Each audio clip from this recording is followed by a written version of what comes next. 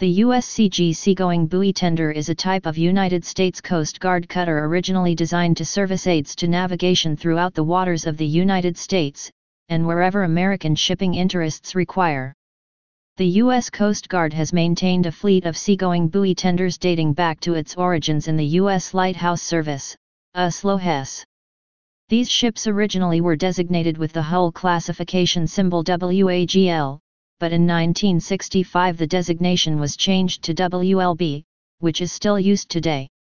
Two classes of the WLB cutters have been produced. The older class, the 180 FT class cutters, were 180 feet, 55 m, long. 39 of these vessels were built from 1940-1944. All but one were constructed in the shipyards of Duluth, Minnesota. The 180 fleet, many of which served for more than 50 years, all went through different midlife modifications that essentially resulted in three different classes of ship. All of the 180s are now retired and have been replaced with the new 225-foot, 69M, Juniper-class cutters. The last 180-foot cutter, Usk Acacia, was decommissioned on June 7, 2006. The Jonquil class of 189-foot, 58M, buoy tenders were U.S. Army-built mine planters acquired by the Coast Guard after World War II.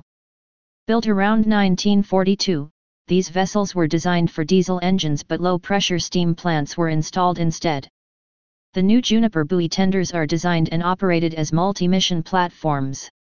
While the 180s also performed other Coast Guard missions, they lacked the speed, communications, navigation, and maneuverability of the new Junipers.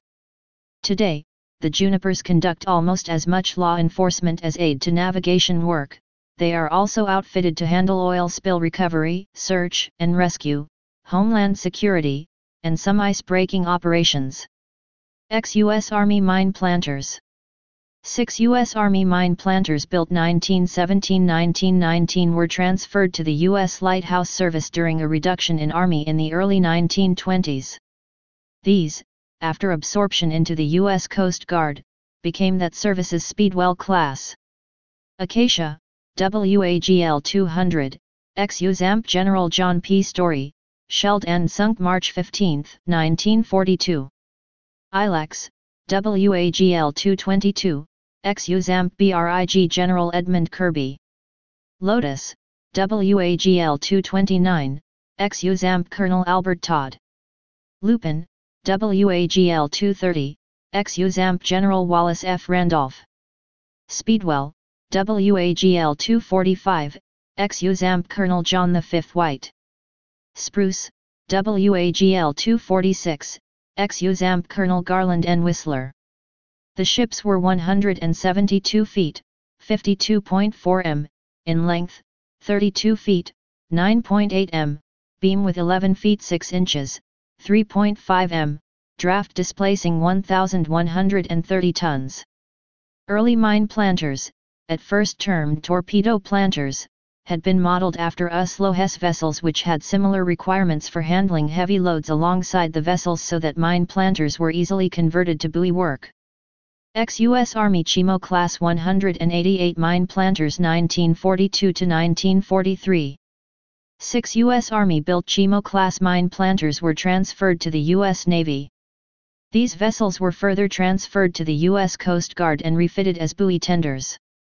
All of these vessels were built 1942 to 1943 by Marietta Manufacturing Company, Point Pleasant, West Virginia. USAMP General Henry Knox, MP1, USS Pickett, ACM-8, then Usquillo, WAGL-WLB 332. USAMP Colonel Henry J. Hunt, MP2, USS Bastion, ACM-6, then Usk Jonquil, WAGL slash WLB 330. USAMP Colonel George Armistead, MP3, USS Barbican, ACM 5, then USK Guyvey, WLB 329 slash WAGL 329. USAMP First Lieutenant William G. Sylvester, MP5, USS Obstructor, ACM 7, then USK Heather, WAGL/WLB 331. USAMP Colonel John Story, MP8, USS Barricade, ACM3, then USC Magnolia, WAGL slash WLB 328. USAMP Major General Arthur P. Murray, MP9, USS Trapper, ACM9, then USS Yamacraw, ARC 5, USC Yamacraw, WARC 333. Please subscribe and thanks for watching.